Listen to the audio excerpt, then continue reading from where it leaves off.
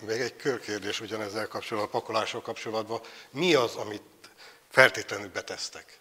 ami nem hiányozhat egy versenyről sem. Nekem a kispárnám. Én egy, egyetlen versenyre sem megyek a kispárnám nélkül, és mindig akárki a szobatársam mindig néz, hogy te tényleg hozom a párnát is. Mondom, nekem ez az el, tehát hogy én az, tehát hogy szöges sose, tehát hogy nekem a legfontosabb a kispárnám. Tehát én úgy vagyok, hogy szöges edzőcipőt bármit pótolok, de én kispárnám nélkül nem tudok aludni, tehát nekem az a legfontosabb. És tényleg minden versenyre volt olyan, hogy Ryanair-rel utaztam, csak hátításka, de azért is még bele nyomtam a kispárnámat a táskámba, tehát hogy az, az mindig nálam van.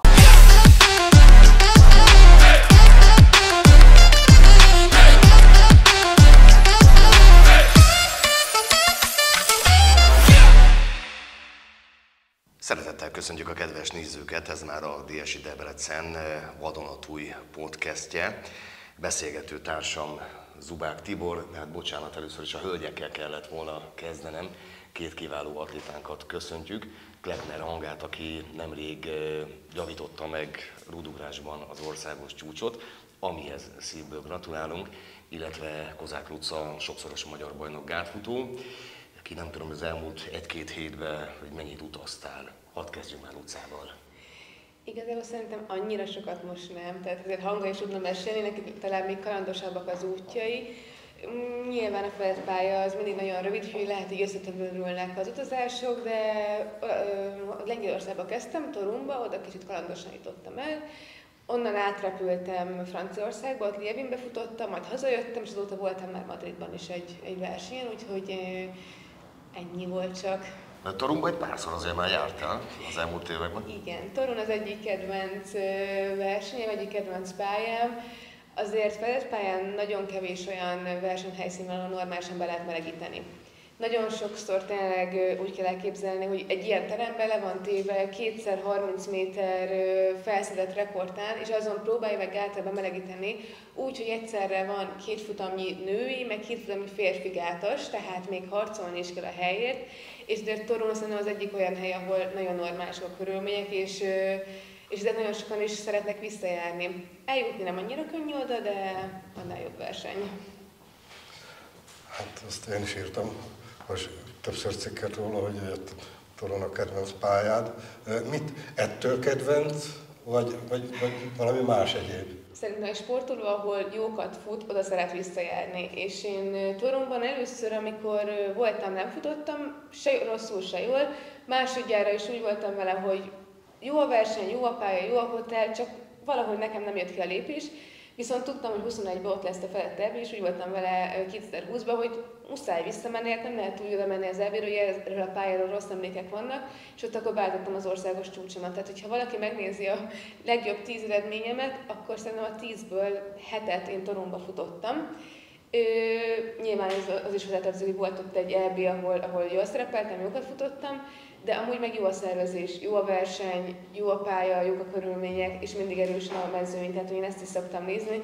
Hál' Istennek kicsit tudok már válogatni a versenyek közül, és próbálok mindig olyanokat válogatni, ahol tudom, hogy, hogy jó a szálloda, jó a kaja, utazás, hogyha lehet, az is könnyű legyen, ne kelljen három sem menni, úgyhogy szerencsére kicsit már tudok válogatni, de, de igazából szerintem csak annyi a titka, hogy jól futottam ott többször is. Neked hanga van kedvenc pályád? Hát ha egy külföldet nézzük, akkor nekem kicsit így Osztrava ilyen amúgy, hogy vagy jó, amúgy ez hivatalosan nem amúgy most már hazudnék, mert akkor mondhatom azt, hogy eszék.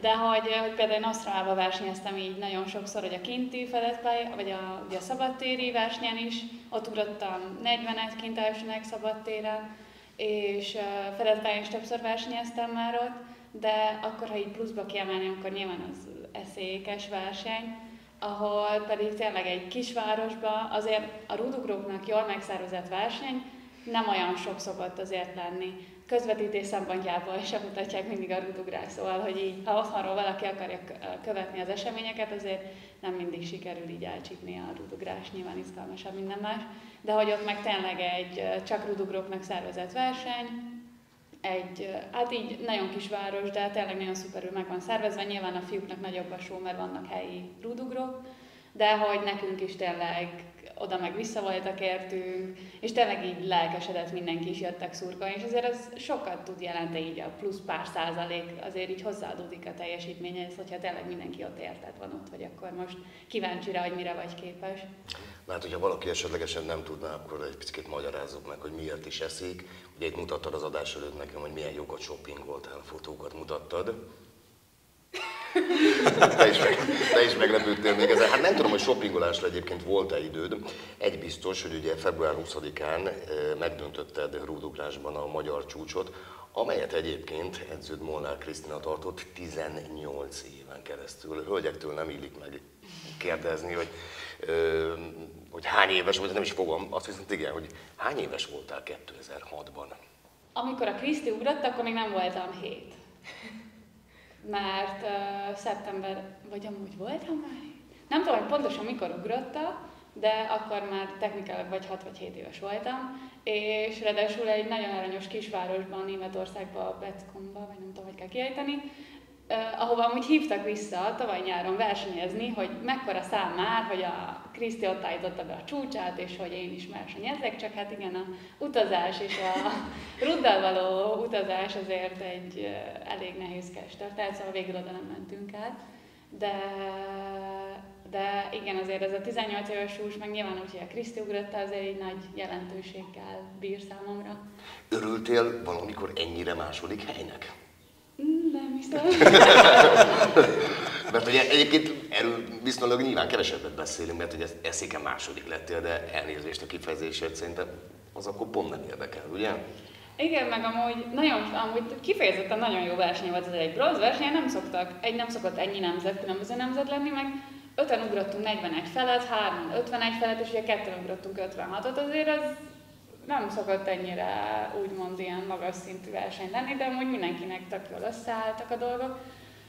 Meg nyilván a, a léc is segített sokszor, nem esett le, de, de hogy, hogy tényleg Nyilván ott nem azon gondolkozik az ember, hogy akkor most hanyadik ezzel, mert már magában az 51-et, azt ugye harmadjára ugrottam át, szóval az is ott már egy nagy hát így fegyvertény volt legalábbis annak én elsőnek szerintem jobban ültem, mint utána az 56-nak, nyilván annak is meg volt a jelentősége, de itt nem nagyon gondolkodtam azon, hogy akkor most ezzel végül is hanyadik lettem, mert azért nyilván az országos csúcs az, az úgy ti láttam a tizedik is, nem tudom én, vagy huszadik egy világbajnokságon, de azért ez mégis egy ilyen plusz az, az, edz, az edződ mosolya az őszinte volt? Igen.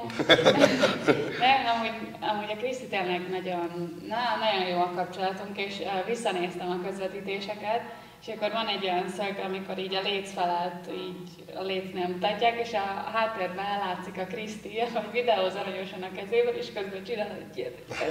Faszban most döntötték meg a magyar csúcsomat lehet, hogy... Igen, amúgy erről sokat, régen tényleg nagyon sokat beszéltünk erről, és igazából technikailag a férje, ugye Szabó Dezső volt akkor az ő edzője, amikor ő ezt ugratta, és akkor a Dezső mondta most ezt, hogy igazából őt kell sajnálni, mert hogy most már nem ő a csúcstartó edzője. Ami amúgy nem igaz, mert hogy engem edzett a Dezső, amikor elsőnek Pestre kerültem, én vele kezdtem el edzeni, utána kerültem a Krisztián, szóval ő is azért hozzájárult ehhez, de így a családban maradt, ezt így azért mondhatjuk. Hát ugye kanyarodjunk még vissza a magyar bajnoksághoz. Hát lehet, hogy nem állok távol attól, ha azt mondom, hogy versenyszámok közül sokan leginkább a 60 gátot várták, ugye, mert de, főleg debreceni szempontból ugye a Egyesület két klasszis állt rajthoz, Kozák Luca és Kerekes Gréta, aki most nincs itt, mert Pesten edz, és ugye tavaly nem tudtál sérülés miatt részt venni, most viszont pályán össze tudtátok mérni az erőtöket. Volt benned, mert természetesen sportoló mindig vissza akar nyerni a magyar bajnoki címet. Volt benned, hogy na, most akkor Szerintem, Vagy ugyanúgy készítem, mint egy többi verseny? Szerintem mindenki úgy oda minden versenyre, hogy nyerni akar, és azt hozzá kell tenni, hogy a 60 gát ez nagyon magas színvonalú. Most nem csak külföldön, hanem Magyarországon is. Tehát, és nem csak miattam, meg Réti miatt, hanem azért nagyon sok fiatal a Tótonna például. Például a Tótonna, de nem csak, ha nem csak őt veszük, hanem megnézzük az eredményeket, 8-60 kellett a, a döntőhöz. Máskor pár éve dobogózni lehetett ezzel az eredménnyel, valamint szerintem a mezőny ez egy gyengébb bronzversenyre beillett volna. Tehát ez nagyon ritka, hogy, hogy ennyire sokan jól futottak, ideileg jobbat egyéni csúcsokat. Tényleg egy nagyon színvonalas verseny volt, úgyhogy nagyon sokan kérdezték, hogy mennyire bántott, hogy Gréti megvert. Egyáltalán nem, mert tudom, hogy teljesen más ugye az éves felkészülésünk. Úgy mentem oda, hogy nyerni fogok, és nyilván, hogyha 8-10-zel lettem volna második, és Gréti meg 8 0 9 fut, akkor mind a ketten úgy jöttünk volna a pályára, hogy hát ez egy jó futás volt, ezért nem, nem volt értelme átvenni, viszont így, hogy szerintem mindenki nagyon jól futott, bennem egyáltalán nem volt semmi tüske, hogy második lettem, nyilván szerettem volna első lenni, de szerintem ez egy olyan verseny volt, hogyha ha szombaton vagy le, lehet, akkor én nyerek, ha hétfőn, akkor lehet megint Gréti, tehát hogy tökre egy kiélezett verseny volt, és neki azért most nagyon kellett pálya, azt tudom az olimpia miatt. Én meg kicsit pont azért, mert az elmúlt pár évben elmúlt két évben megsérültem, és nem tudtam úgy pályázni. Kicsit közhelyesen, de az a cél, hogy egészséges maradjak, és nem is annyira hajszoltam bele magamat sok versenybe, összesen eddig négy versenyen volt, ami azért nem mondható soknak. Úgyhogy én ezt egy állomásnak tekintem ezt a felpályás szezont, és készülünk tovább. Ugye ez egy júniusban lesz egy EB, ami nagyon hamar lesz, augusztusban az olimpia, és tényleg nekem nem kell ezzel foglalkoznom, hogy mit futok, hanem oda kell a formát készíteni. Meg hát tudjuk, hogy azért 60 gáton, hogy a kívülállók kevésbé veszik észre, hogy egy pici hiba, amit mi nem veszünk észre, de, te, de te érzed, az már százalokat jelent, és ez 60 gáton nagyon sok. Én pont most néztem vissza a rövid futásomat, ott kétszer futottam 0-6-ot, és azt láttam, hogy igazából két lépésben csinálok egy elég technikai hibát, ami miatt konkrétan ott van, hogy most 790 valamennyi, vagy 806. Úgyhogy gáton amúgy is nagyon piciken múlik, és ha valaki megnézi mondjuk tényleg 100 gáton, és azt látja, hogy egyszer valaki fut 2000-del jobbat, de ha azt lebontjuk, az gátközönként 200 ami meg tényleg egy apró kicsi mozdulat a helyére kerül, de igen, ez eléggé technika és eléggé el tud menni a technika, meg ha valakinek beletalál, akkor viszont nagyon jókat tud futni. Egy picit így elvonatkoztatva, akkor mondhatjuk, hogy igazából nem is a helyezés az, ami elsősorban érdekelt, hanem az idő? Teljes mértékben szerintem a, a, ez, ez hanga is, amit ugye mondod, hogy a felkészülési versenyeken, ami nem a főverseny, ott szerintem mindenki inkább az időeredményre megy rá. És nekem volt olyan versenyem, hogy pár éve voltam egy feltállás versenyen, és mindenkit elvitt a versenyzés. És nem magunkra koncentráltunk, hanem egyszerűen arra, hogy hogy versenyezzünk, és hogy minél jobban a másikat meg tudjuk verni. És beértünk a célba, és mindenkinek egy ilyen bő egy tizeddel rosszabb lett az eredménye, mint amit előtte pár nappal futottunk. Szóval ugyanaz volt a mezőn két versenyen. És a győztes sem örült neki. Ugye ezek a versenyek inkább arra mennek rá, hogy minél jobb legyen a forma, minél jobb időeredményt érje el. Felett pályán még nagyon a külső tényezők se befolyásolnak, nincsen nagyon extrém szél, nincsen eső, meleg, Úgyhogy igazából egy ilyen serély körülmények között tudunk versenyezni, úgyhogy szerintem egyértelműen inkább a, az időeredmény. Valamint én nagyon szoktam mosolyogni, amikor ti is, mondjuk a sporton kívül, győz, győzelem, hatodik hely, és nekünk szerintem inkább a mögöttes tartanom az időeredmény az, ami mérvadó, hiszen mondjuk 8 0 nyerhetsz egy kisebb versenyt, vagy mondjuk itthon egy futófolyosós versenyt, de lehet, hogyha már egy szélversenyre kimész, ott a dobogóra se lehet, hogy elég.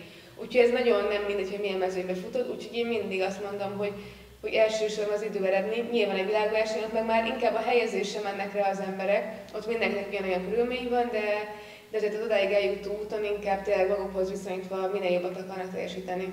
Luca, hányszoros futófolyosós bajnok vagy, azt tudod? Egyesületen belül. De bocsáss, tehát hogyha azt mondjuk, ugye nyilván mindkettőtök esetében, hogy Luca sokszoros magyar bajnok gátfutó, Hanga sokszoros magyar bajnok rudó, tudjátok egyáltalán, hogy hányszoros magyar bajnokok vagytok? Persze. Meg, megérzi az, hogy egy picit gondolkodni nekem kell. Nekem könnyebb dolgom van, nekem kevesebb. nekem sincs olyan sok.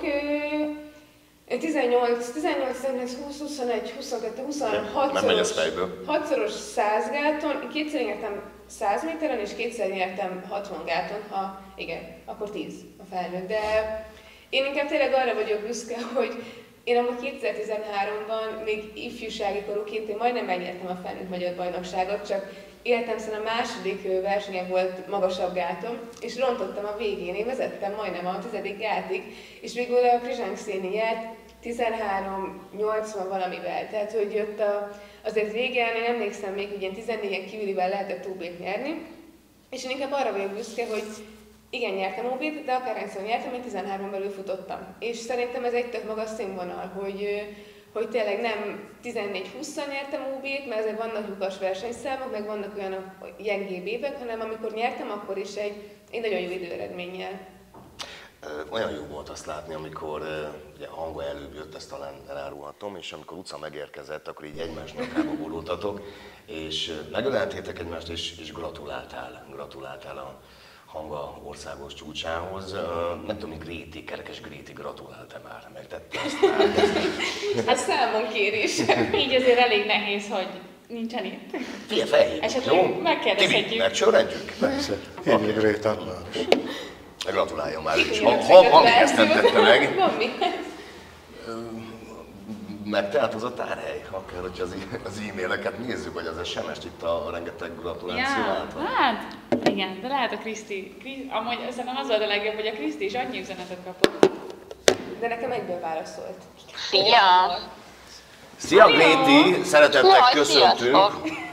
Zubák Tibi telefonjáról beszélünk, úgyhogy korlátlan a díjcsomagja, nyugodtan be- beszélhetünk.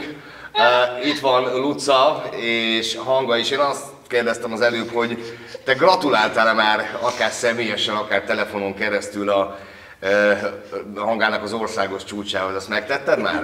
Ö, megtettem, személyesen sajnos még nem tudtam, de rögtön írtam neki Instagramon persze, hogy láttam a, ezt a fantasztikus eredményét. Úgyhogy ö, most így szóban is nagyon szeretnék neki gratulálni, mert annyira örülök neki. Köszönöm! Figyelj, ilyen kemények vagyunk, hogy számon kérjük. Jó, akkor ez a része kipipálva. Igen, még szerencsém, hogy gratuláltam, mert milyen ciki lett volna, most azt mondom, hogy nem. Mert ugye azt mondtam, hogy személyesen nem gratulált. Jogos. Na, hát viszont neked gratulálunk az elmúlt hetek teljesítményéhez. Köszönöm szépen. Fantasztikus ö, eredményeket értél el. É, ugyan most nem látunk, de a, a, a hangodból, mint hogyha az, az jönne le, hogy hihetetlenül, tehát mosolyogsz kívül, mosolyogsz belül, és ilyen kirobbanó formában érzed magad.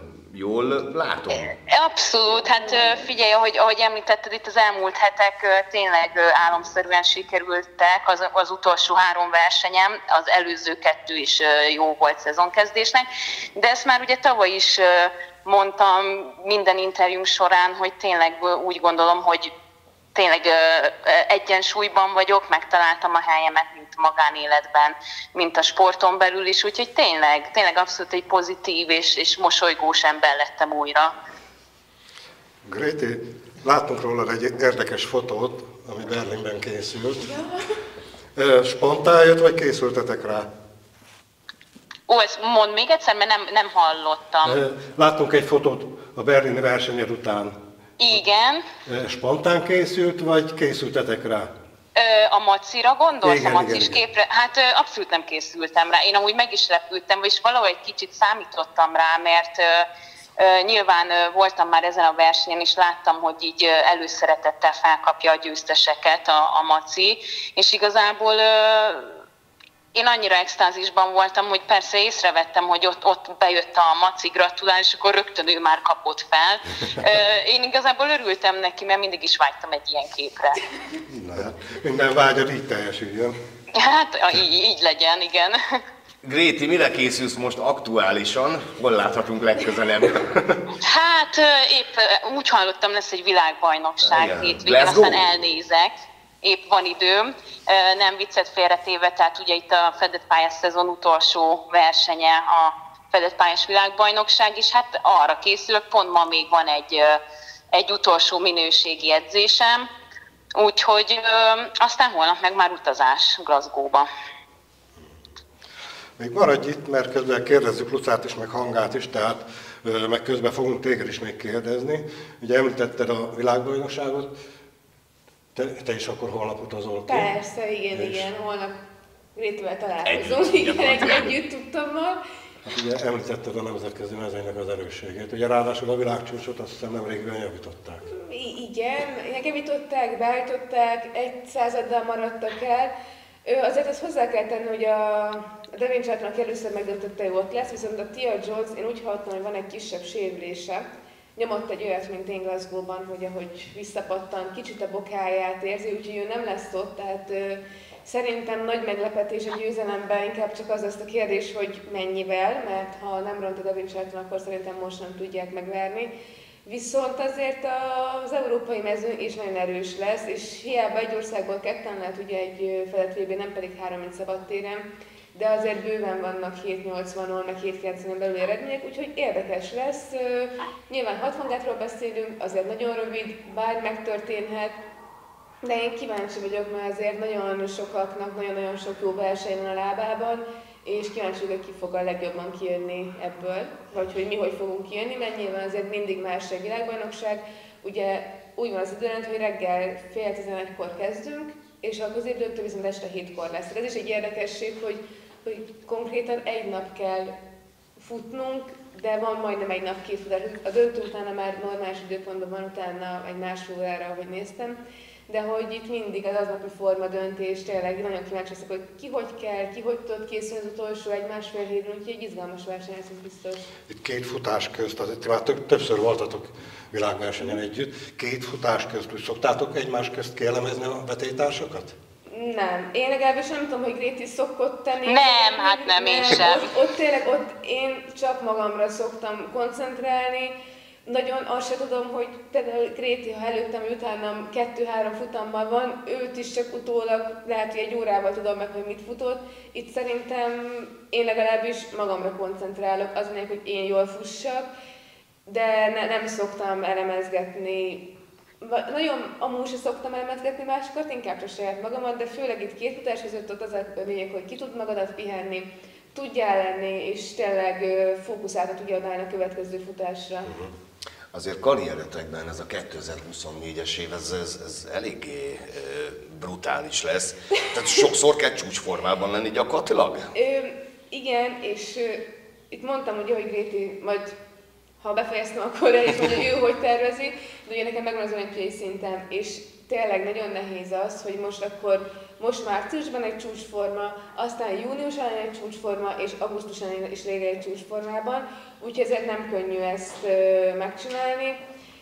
Én kicsit ugye a felett úgy visszavettük, kevesen versenyt vállaltam, mondhatni azt, hogy erre fektettünk a legkisebb hangsúlyt, de ha számolgat az ember, konkrétan alig marad idő a felett és a szabadtéri elvé között nagyon-nagyon kevés a felkészülési idő. Úgyhogy is egy érdekes lesz a nyáron, hogy ki hova teszi a hangsúlyt, hogy EB vagy olimpia, vagy mind a kettőt megpróbálja nagyon-nagyon csúcsra járatni.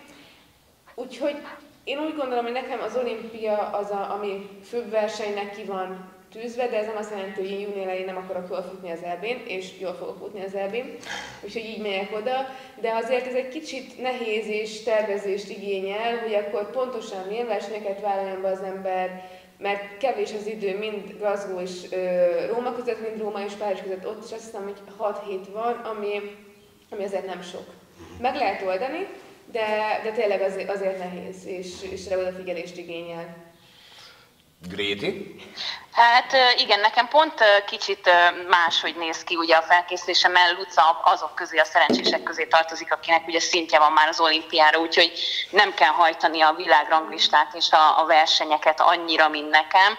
Ugye Hát én sem mondom azt, hogy nagyon túlzásba estünk a fedett pályán, hiszen szerintem annyi versenyet, versenyem nem volt, mint korábban. Tehát én amúgy nagyon szeretem a fedett pályát, el is bírom, hogy egy héten többet versenyezzek.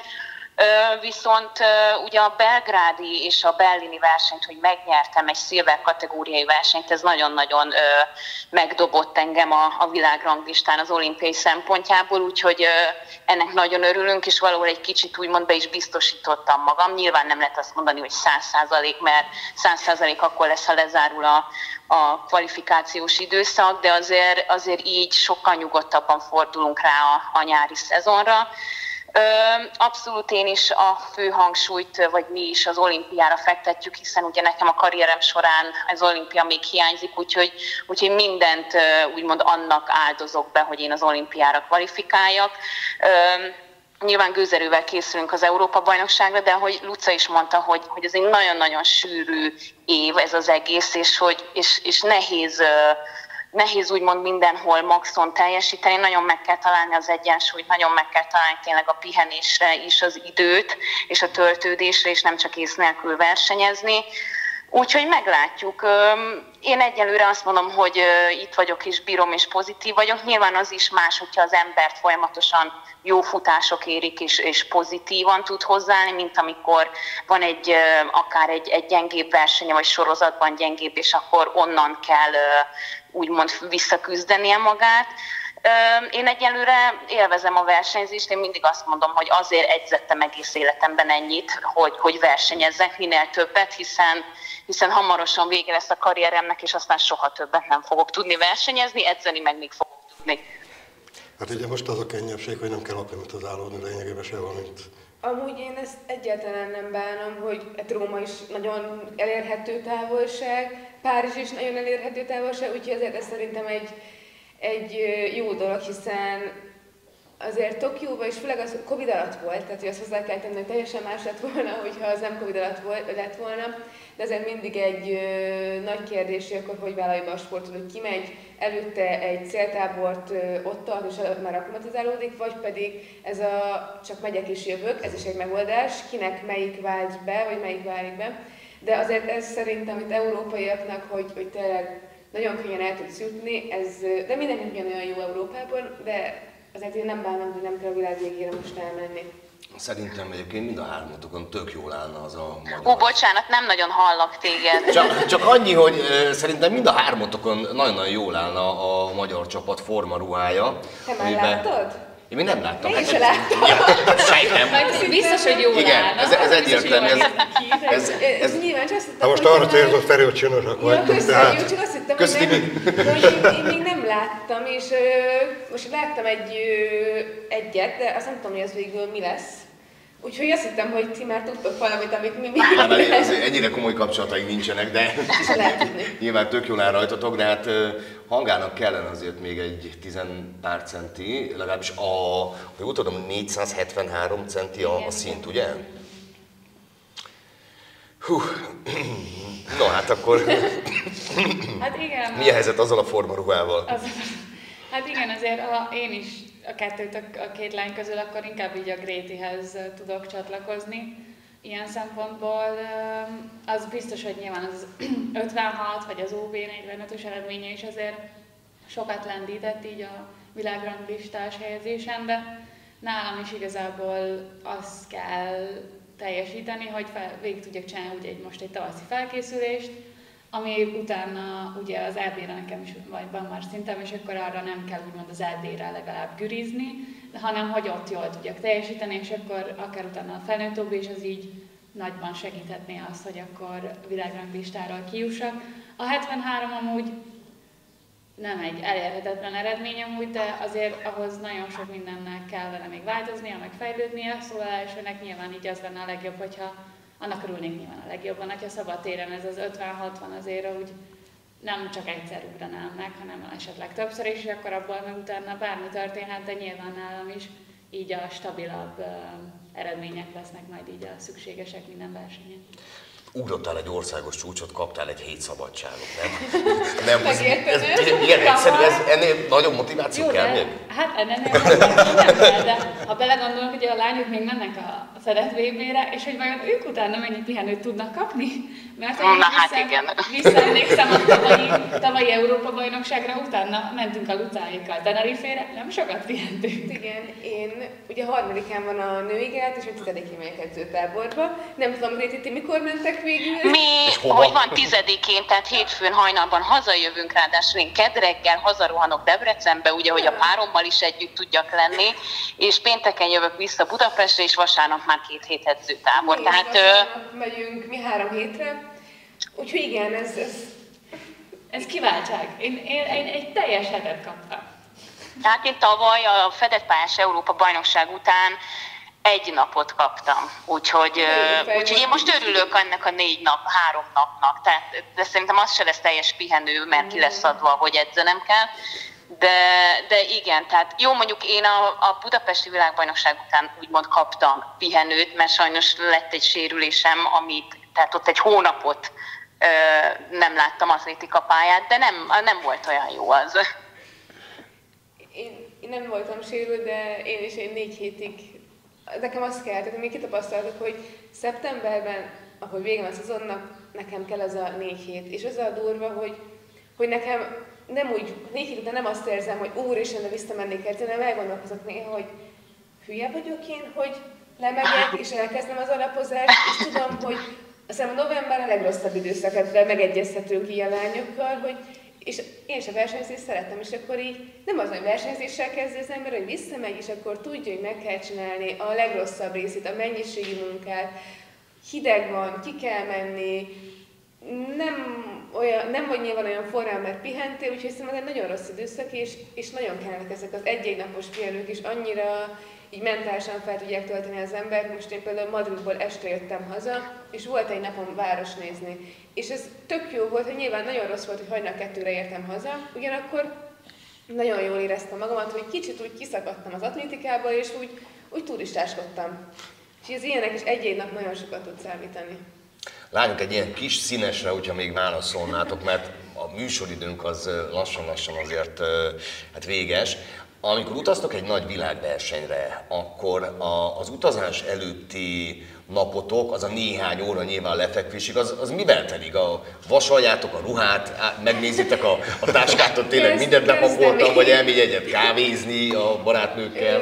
Hát én ugye vasárnap, hogy volt, szombat hajnal értem haza, tehát én még nem nagyon mostam ki a ruháimat, tehát én mosok jelenleg, leedzettem délelőtt, most még egy gyógytornászhoz, még ma ugye nyilván a hét további részében nem tudok menni, és pakolok és keresem, hogy hova tettem el augusztusban a válogatott ruházatomat, tehát hogy, hogy nekem még ebből szokott állni, én nagyon utolsó pillanatra hagyós vagyok, úgyhogy valószínűleg én este 10 körül fogok bepakolni, de lehet, hogy még reggel is hozzá fogok tenni egy-két dolgot, Úgyhogy nekem általában ilyen kapkodás az utolsó nap, bárhova megyek, úgyhogy de semmit nem hagyok itthon soha. Én ugyanezt tudom mondani, mert pont most itt vagyok a szimacsarnokban amúgy, tehát mindjárt kezdek edzeni, lerakjuk a telefon. Utána még megyek gyuratni, sőt, egész nap úton voltam, reggel után nem voltam otthon, úgyhogy pakolás az körülbelül nálam is, mint Lucánál szerintem így az esti órákban, mert most, hogyha hazaesek, végre lezuhányzok, kicsit leülök, vacsorázok, akkor kicsit ugye úgymond beüt a kaja kóma, akkor nincs kedvem pakolni, akkor elkezdek pakolni, de a kicsi apróságok azok, azokat mindig az utolsó pillanatra hagyom, és a legviccesebb, nem tudom Luca, hogy ez megvan-e, hogy mindig írok Lucának, hogy te hozol, hozol valamilyen Igen, extra ruhát a banketra? Én úgy tudom, hogy elvileg én úgy tudom, hogy most Gréti hozzá, nem tudom, hogy végül neked adták el oda, még kell nekem egy válogatott cucc, mert kértem. Igen, itt van nálam, nyugi. Gréti hozza nekem. De jól beszél. Igen, úgyhogy ez még jó, hogy legalább mondtál a irodában, hogy vagy a Gréti, vagy a Szabina fogja elhozni. Mondtam, szerintem mind a kettő bevállalja az egyetlen darab ruhadarabot, hogy elhozza nekem. Úgyhogy így az én cuccomat is hozza. Igen, igen, most már Lucának is én, én pakolok. Ha és neked, nálad mi a titok? Gondolom nem, nem a versenyt kezdesz neki egy 120 részes brazil sorozatnak. Szóval hát amúgy én általában úgy szoktam, hogy már minden össze van készítve, és az utolsó checking az az, hogy mindent kipakolok a táskából, és visszapakolok, hogy megvan-e minden. Ugyanabban a táskában? Vagy ugyan nekem ez a szöges, az, amit szerintem... Én hagytam már otthon szögest. Én is, hogy én, nem otthon, én két balos vagy jobbos vittem el egy verseny, és két különbözőt. Jézusom! Ez most a csapatbajnokságon történt velem, és én az volt a szépség, hogy én onnan mentem még egy versenyre Zágrába, tehát már nem jöttem haza. És amikor reggel volt a futás, ilyen 10-30-kor, és kiveszel egy 8 órakor, és meglátod, hogy nálad két jobb lábas cipő van, és még nem is egyforma, akkor azért, hogy lefő a kávé, és azóta én így hatszor, előtte is mindig, és nem tudom, hogy hogy sikerült ezt, vagy hát tudom, de mindegy, és az volt a szerencsé, hogy nekem a kocsimban, és úgy tudom, hogy a kocsijában is, mindig van egy párszöges. Lehet, hogy nagyon régi, lehet, hogy megszakad, de van egy párszöges, nem tudom, hogy hogy, és az volt a szerencse, hogy volt egy párszöges, így tudtam futni ezt a két versenyt, egy ezer éves, tényleg már tartásosa volt, de, de legalább egy pár volt. Még egy körkérdés ugyanezzel kapcsolatban, pakolással kapcsolatban. Mi az, amit feltétlenül betesztek? Ami nem hiányozhat egy versenyről sem. Nekem a kispárnám. Én egy, egyetlen versenyre sem megyek a kispárnám nélkül, és mindig akárki a szobatársam, mindig néz, hogy te tényleg hozom párnát is. Mondom, nekem ez az el, tehát hogy én az, tehát hogy szöges sose, tehát hogy nekem a legfontosabb a kispárnám. Tehát én úgy vagyok, hogy szöges edzőcipőt bármit pótolok, de én kispárnám nélkül nem tudok aludni, tehát nekem az a legfontosabb. És tényleg minden versenyre volt olyan, hogy erre utaztam, csak hátításka, de azért is még bele nyomtam a kispárnámat a táskámba, tehát hogy az, az mindig nálam van. Nekem ilyen nagyon különleges dolog nincs amúgy, mint a kispárra. Én az alapvető dolgokat, annyi nálam, hogy a, a versenycucc, amiben versenyzek és a szögesem, azt én nem adom ki a kezemből. Tehát, hogyha viszek egy kis bőröndöt, és nem, nem adom fel, akkor is a hátizsákban van, mert bármikor a kezemből, azt fel kell rakni, azt nem adom ki mindent lehet pótolni, szöges a legnehezebb, ugye? Úgyhogy nekem ennyi, de igazából nem viszek semmi extrát szerintem. Én minden versenyet hajat mosok, tehát sampon van. Kinek mi? Kisperne hajmosás. Amúgy ez én is tudok csatlakozni, mert nekem meg így nyilván a rudak miatt az ilyen, nem tudom én, zia, vagy leokopla, sose lehet tudni, mi történik ha nyilván kinti verseny van, akkor azért mindig van nála egy esőkabát, sose lehet tudni, rúdugrásnál meg a rutakra is ugye figyelni kell, hogy nehezzen, nehezzen, sose lehet tudni. Meg én is, én meg beszoktam fonni a hajam, és akkor ilyen alapvető, hogy kis gumi mindig legyen nála, de max elmegyek, és akkor veszek valahol, de inkább ezek ilyen meg tudom oldani, hogyha nincsen ott, de azért jó, hogyha ott van. Hát nála nehezebb a pakolás, ugye, mert rudak számít. Volt már olyan, hogy... Jó, igen, a rudakat sem szeretem otthon hagyni, de... De nem úgy kérdezem, tehát volt már olyan, hogy gépen maradt? Tehát nem, vagy nem érkezett meg? Vagy... Hát... Mert szoktuk hallani, hogy csomag nem érkezik meg a... volt, hogy feladtuk, mentünk edzőtáborba Dél-Afrikába, és Frankfurtba közölték, hogy hm, hát nem is Frankfurtba közölték, a Pesten közölték a reptéren, hogy ez ide nem fog felmenni pedig úgy lett lefoglalva, csak kis repülőgép és nem vitték el. Olyan, és igen, szerintem más ilyen, amikor nem jött el. Ilyenkor mindig örülök utána, hogyha megvannak a rupák. Van egy kis erteg, az így benne van, tudom, hogy hol van, és amikor így megnyugszom, hogy önnél van, vagy valami ilyesmi a szöveg, akkor úgy. Hát igen, véletlenül Johannesburgban a helyi sportbolt nincs Hát ott az volt, ott az volt, hogy, hogy random a pálya mellett lévő random kis rudakból ugrottunk három hétig, nem volt életem a legjobb élménye, de az edzőtában nagyon jól sikerült, csak hogy egy ugrás Meg nyilván ilyen versenyekre, most voltam Luxemburgban, úgy voltam versenyezni, hogy nem tudtam elvinni a rudaimat, és akkor kölcsön kértem rudakat. És azért így eléggé összetartó a rudugró társadalom, vagy így, hogy is mondjam, azért mindenki egy rúttal függ az élete, vagy, vagy szóval azért mindenki kicsit, hát azért így figyel egymásra, és akkor például tökéletes, tök jó utakat tudtam kapni, ugrottam bele 30-at, vagy 30 és hogy amúgy tök jó verseny volt, és így tényleg, szóval azért nagyon támogatók így a rudugrok egymással ilyen szempontból. Nyilván nem a legnyugisabb napom volt, de túléltem. És jó eredménnyel, szóval, hogy Lányok, egy dolgot retteltesen sajnálok, sajnálunk, szerintem Tibi nevében is beszéltek, hogy az időnk az sajnos elfogyott, nagyon-nagyon jó volt veletek beszélgetni. Én még egy dolgot sajnálok, hogy nem lehetek ott velük Párizsban. De hát reméljük, hogy, és én ezt tényleg őszintén kívánom Grétinek, meg Hangának is, Lucának ez már ugye összejött, hogy és akkor ígérjétek meg nekünk, hogy augusztus végén leülünk egy picit beszélgetni a, az olimpiai eredményekről és a, az ott töltött napokról. Mit kívánjunk nektek? Sok sikert, jó eredményeket, sok országos csúcsot, és ami nagyon-nagyon fontos, jó egészséget. Jó egészséget, nagyon szépen köszönjük, sok sikert nektek. Köszönjük szépen! Köszönjük. Na hát kedves nézők, akkor ennyi volt már ide, oda mondom. Szóval, kedves nézők, ennyi volt már a, a DSI Debrecen podcastje. Az, hogy ki lesz a következő vendégünk, Tibivel mi már tudjuk, de legyen meglepetés. További minden jót a viszontlátásra. Nem mi.